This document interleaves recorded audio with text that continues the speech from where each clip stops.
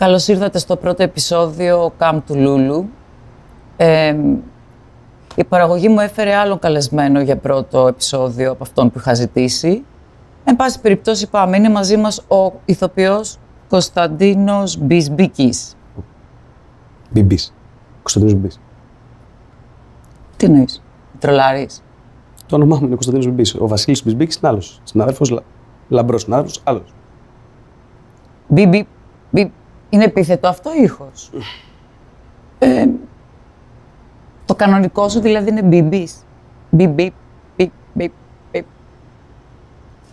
Κωνσταντίνο, να σε ρωτήσω κάτι. Έχεις καμία σχέση με τη Looney Tunes?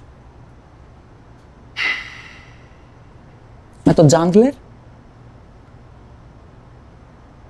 Τζάτλερ γιατί; Μπιπ. Μπινγκ. Α, κατάλαβα. Εδώ μου γράφουν ότι είσαι ηθοποιός. Κανονικός ή βοηθικός; No hate.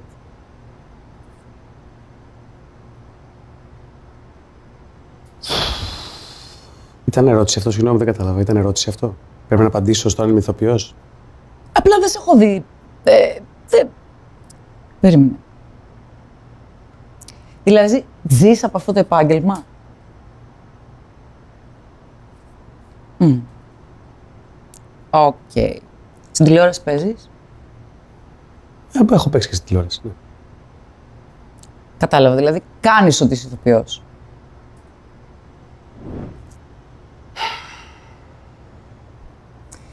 Εντάξει, κοίτα, λι- μπήκα λίγο και είδα εικόνες από τα θέατρα. Είδα που κάνεις το Ρωμαίο και νόμιζα ότι είδα τον Καραπιάλη να παίζει τον ωραίο, όχι το Ρωμαίο. Γιο.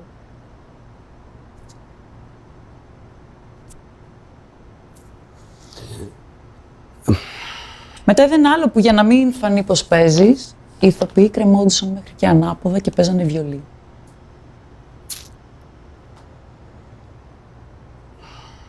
Ανάποδα. Τους είδα. Δεν είχα χρόνο να δω παραπάνω. Όχι. Είχα χρόνο, απλά το έκανα ως πράξη αυτοεκτίμησης.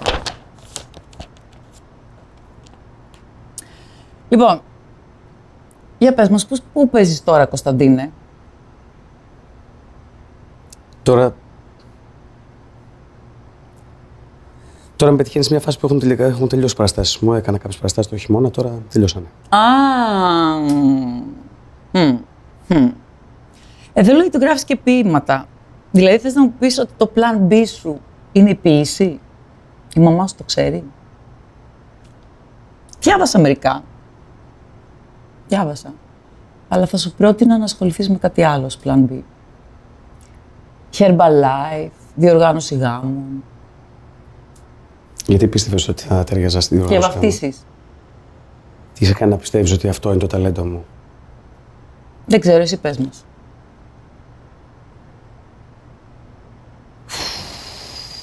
Μπιπ, μπιπ. Μπιπ. Εδώ διαβάζω ότι είσαι μπλεγμένος με την υπόθεση ενός τρένου που τράκαρε στα χιόνια.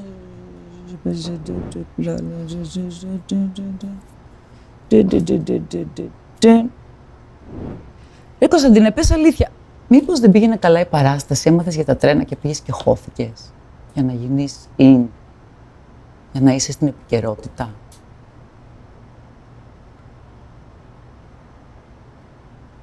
Εδώ.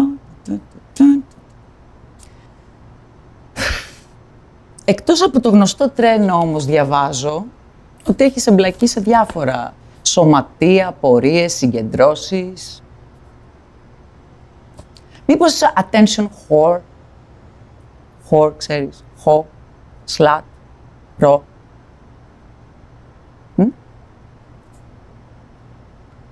Ε, ναι. Δεν καταλαβαίνω τι είναι αυτό τώρα που γίνεται. Μπιπ, μπιπ. Κωνσταντίνε, πώς νιώθεις ως Ζεμπρεμιέ. Καλά ρε παιδιά, τι Ζεμπρεμιέ. Ο άνθρωπος είναι ένα βήμα πριν τη σύνταξη. Με- Ζεμπρεμιέ. Είμαι 32 χρονών πάντως. Το λέω. 32, ε. Είμαι 32 χρονών. Κανένα βραβιάκι έχεις πάρει; Δεν τον γκουγκλαρά, γιατί δεν, ήμουν σίγουρη ότι δεν έχεις πάρει. Αλλά αν έχεις πάρει, Έχω μια φίλη που θέλει σύζυγο με πέντιγκρι. Μου δίνει το τηλέφωνό σου.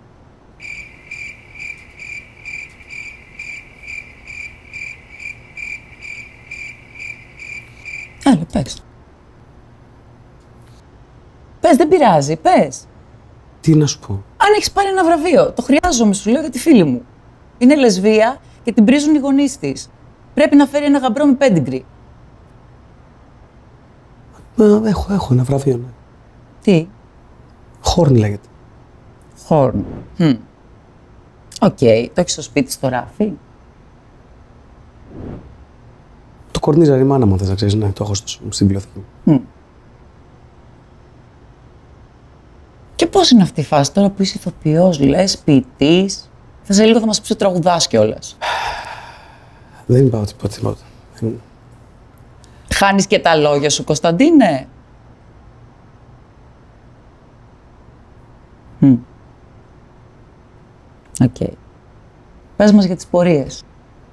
Είσαι αναρχικό στοιχείο; Ναι, με κάποια έννοια, ναι. Ρε παιδιά, ρε παιδιά, τι τον φέραμε τώρα αυτόν εδώ; Δεν έχει να μας πει τίποτα. Ε, σε ευχαριστούμε πάρα πολύ για πρώτο επεισόδιο. Θα τα βρω εγώ με την παραγωγή, στα επαγγελματικά σου σχέδια.